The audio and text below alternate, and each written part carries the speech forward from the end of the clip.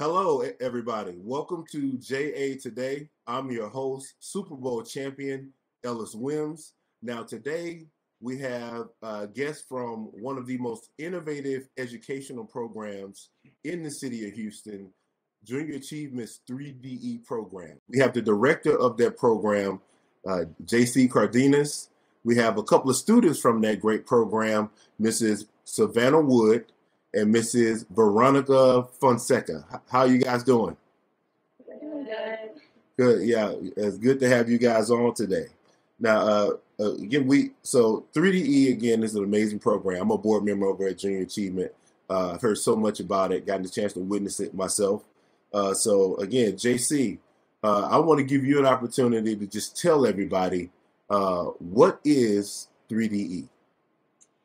You know, if you're not an educator, or or if you are, uh, you're going to see that it's a refreshing take on how do we approach education for today.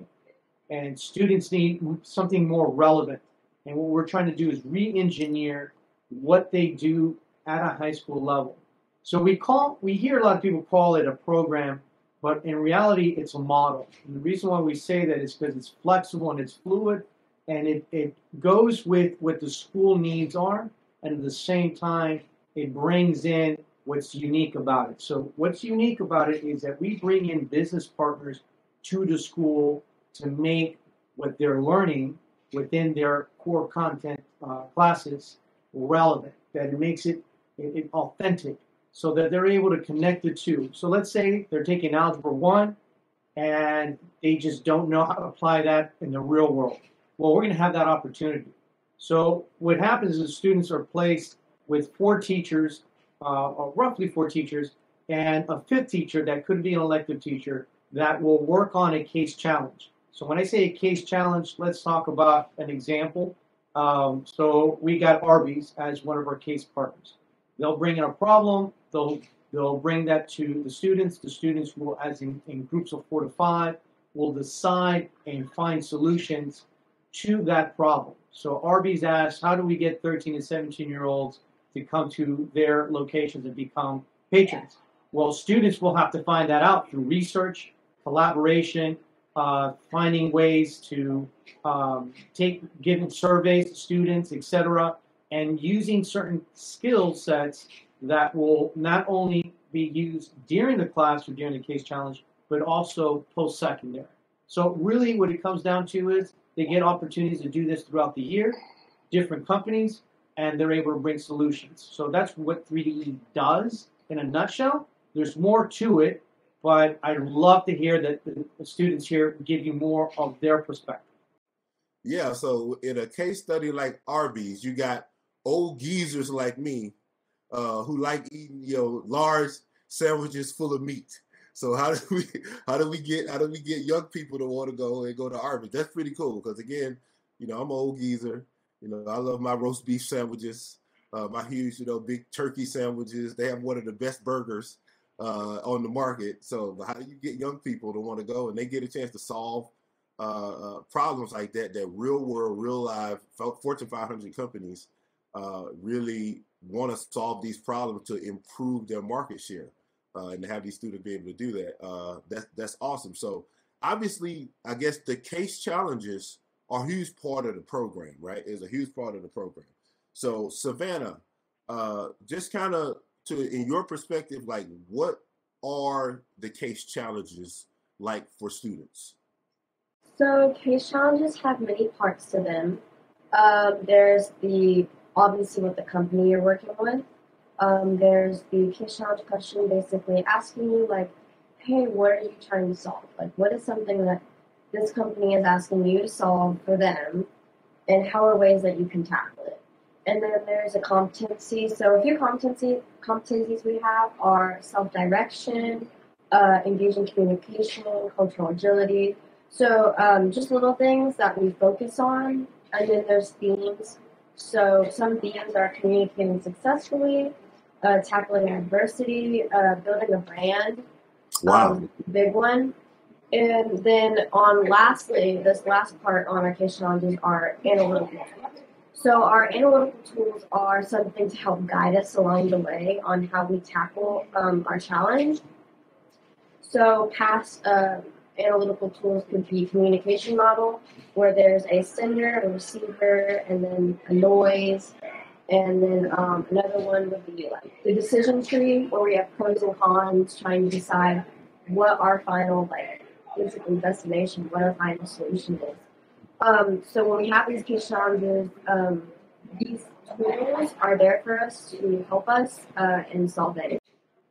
Wow. And again, even sitting here listening to you and listening to the terminology that you're using as a high school student, I mean, that's amazing. Again, when I was in high school, again, we are, I'm not using case challenge and analytics and uh, building a brand uh, and all these different business concepts uh, that you guys are obviously getting introduced to very early on in your in the educational process. So even sitting there looking, you know, listening to you, uh, again, you're farther along than a lot of people that are already out here working uh, and looking for job opportunities. So that's, I guess, that's an amazing part of the 3E program.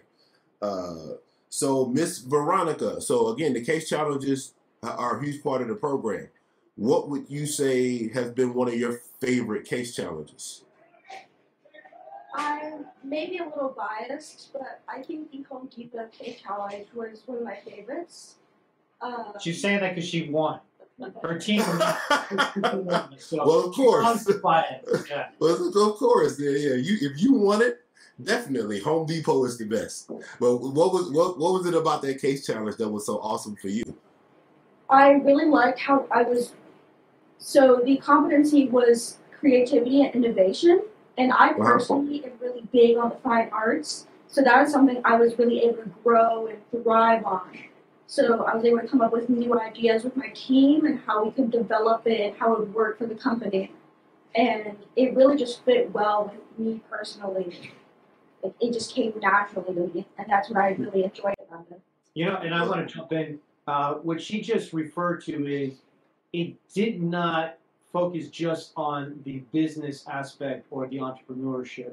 She was using skills that she really likes and enjoys, which is the arts. And so, what 3DE does, it's not for a student that's just focused on being an entrepreneur and, and having their own business.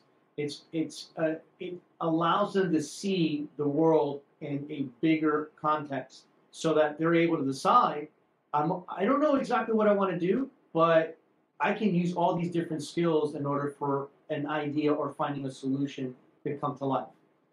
Wow. So again, students, so students get to use kind of what's in their wheelhouse, what they enjoy, their niche, like their skill set, like what they're naturally good at to solve problems and solve case challenges and, and to be able to do that within your school day.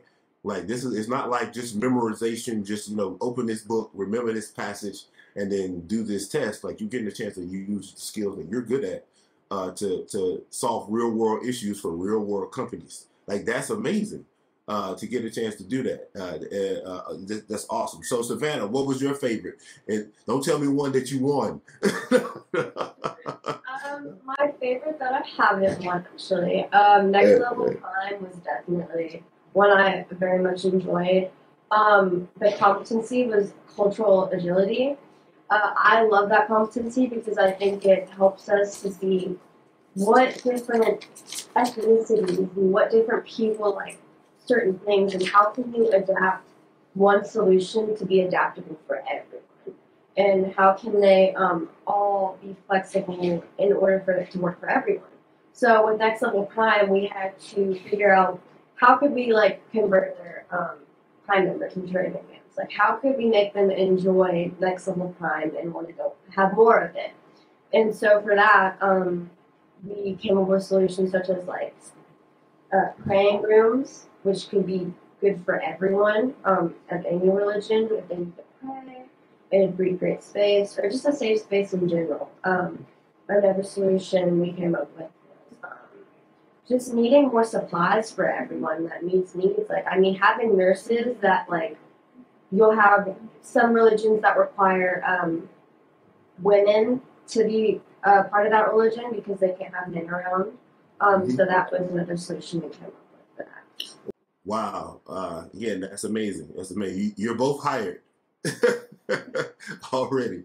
Uh, again, that that is that is is amazing. Again, thinking about problem solving and thinking about it from a cultural standpoint, and respecting everybody's culture, respecting everybody's religion. Again, great that you guys are, are the, the next generation. Here, you guys thinking out of the box and being innovative uh, and thinking about people cu- culturally. Uh, again, that's amazing. Uh, so, uh, Miss Veronica, so tell me, uh, what skills do you think you've learned from this 3DE program?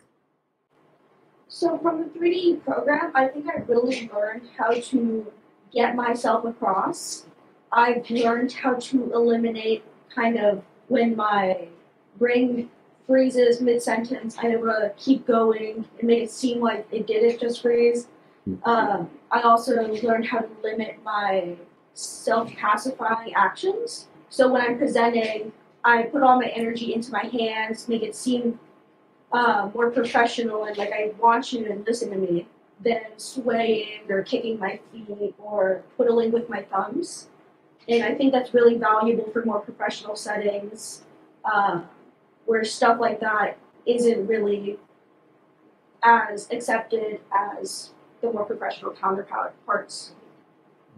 Well, well, I, I tell you what, I think uh, I'll probably need to bring you in to kind of tutor me on some of those things uh, because whenever I whenever I'm up in front of a crowd, like uh, again, I'm nervous. I'm worried about how I come off, uh, and worried about kind of you know how people kind of see what I'm doing. So to be able to say, okay, I know exactly like the things I need to do to make sure I'm connecting with this audience. Uh, I need you to come and show me uh, show me what's up. You know, show me what. Maybe I need to become a 3D student because uh, you guys seem like you, you're you're coming along. Uh, at you got, you got one club. spot available. You got your name on. You know what? Sign me up. You know, sign me up. I'll come, come on back and and, uh, and and and restart my high school experience. That I think that'd be cool. Uh, even even though you know I, you guys might notice a little bit. That I'm a little bit older uh, than the rest of the students, but I think I still I tell my kids I still think I look you know like I'm about 21, 22. I don't know. Yeah, yeah. I still I still can pass. yeah. Uh, so 17, you say 17? Okay. I like it. You know what? you know what? Thank you. All right. Th- thank you very, very much. I'll take that. Thank you. Uh, I'm, glad, you I'm, glad I'm, I'm, glad that Veronica mentioned that as well. The fact that their confidence has, has built, uh, not in a uh, way that it was forced. It was very organic. Um, it was structured. There were opportunities, and for them to have conversations with adults from all different parts of, of any company, right? There's so many different departments, accounting, uh, human resource, etc. And they were able to have these conversations and understand what's the what, what are the needs that these companies have and how do we get that point across? How do we how do we pitch? And so that's one of those things that they also develop. Uh, other than just the competencies, they they have the way to be verbal, nonverbal cues that she had just mentioned, and I thought it was just uh, spot on in what they're uh, what they're they're speaking of. Yeah, absolutely, absolutely. So, so JC, so tell me from your experience with this, with this, with the, with this model, um, what, you know, what impact have you seen that the 3DE program has had on your students?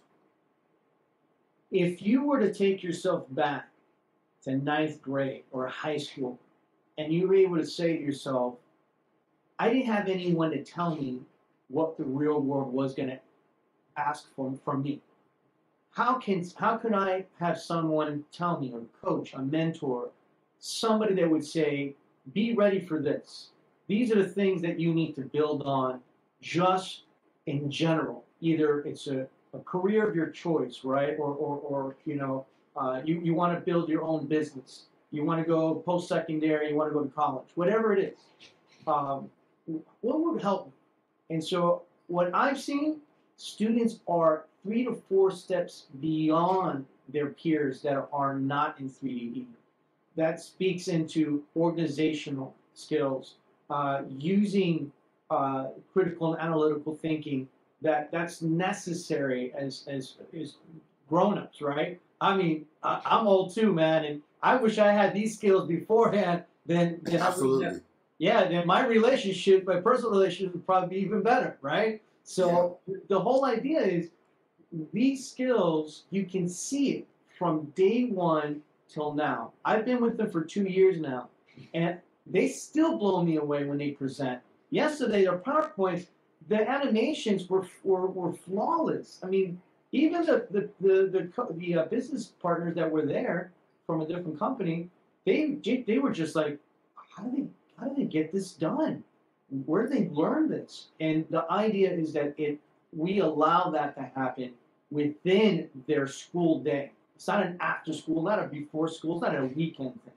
And that's why I think what we see is their confidence that's being built, their ideas are sharp, their way of presenting their pitch is, is spot on without having to drag it uh, longer than when it's necessary. Understanding those little things, I mean, those nuances, and so on and so forth.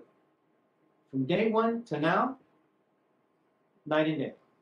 Wow. Uh, and again, like you said, again, I wish uh, when I was in high school, again, I had somebody to kind of teach me and guide me. Because again, uh, coming out of high school for us, it's like you have no clue what you want to do, what you should be doing, what career you even, what careers exist, what career path. You kind of just kind of go how the world takes you. Uh, so again, I, I wish I had a program like this when I was a kid. Even though coming out, you know, I was I was going to college to play college football, and I was lucky to have that structure in place of college football to kind of be a support system for me. But everybody's not going to get to play college football.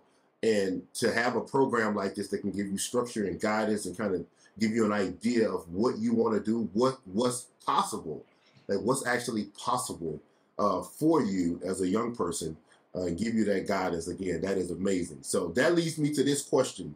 So for Ver- uh, Veronica, I'll start with you.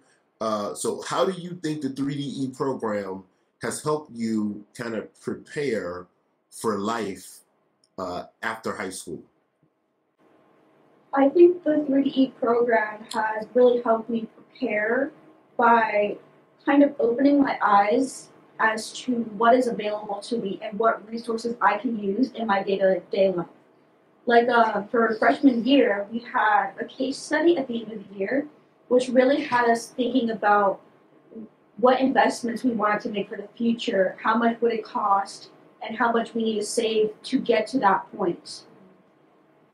Um, and I think that's really made me think about it a lot as I've been making a lot of steps to ensuring that I am able to make it to college and have a plan set out in case it doesn't work out for me. So uh, again, that that is absolutely fantastic. Uh, so uh, um, Savannah, how do you think uh, it, 3Ds helped you prepare for life after high school? Um, I think it's given me a lot of communication skills, um, a lot of uh, leadership skills as well. Um, I definitely feel when I'm in, in an environment and there's an issue or a problem, I have that skill to just get up and take charge and like fix the problem or take those steps from whatever case challenges we ha- have had. We've been able to take those skills and the competencies and work them in on how we solve those problems in your life. And I think it's also helped us to figure out what further steps do we need to take when we're in college or at our job. And it's going to help us a lot more when we're in those environments. That's great. well, again, thank you guys so much for joining us here uh, on on this episode. Again, we learned a lot about the 3DE model uh, and how it's impacting our, our students. Uh, again, JC, uh, Savannah, Veronica. Again, getting a chance to listen to uh, what you guys, uh, your guys' experience with the 3DE program. Hearing from students how impactful it's been on their life and their experience, and how they view, how they view their future. Again, that is amazing. So again, thank you guys for joining us here on JA today. Keep working hard, keep learning, and save me a seat in class. All right, I'll come through and, and, and, and pick up a seat. because see can I see can I learn a little something. Anytime. All right, thank you guys.